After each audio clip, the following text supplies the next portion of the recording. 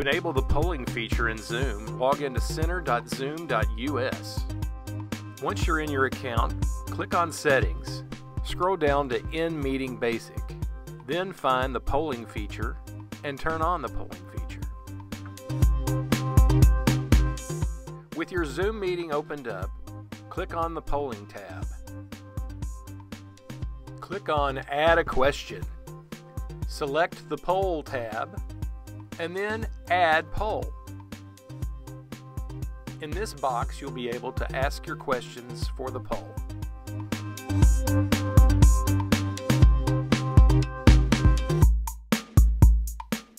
And you can also fill in the answers. To begin a poll, in Zoom, click on the Polling tab. From the pull down, select the poll you wish to distribute. And then launch poll. The elapsed time will stay at the top.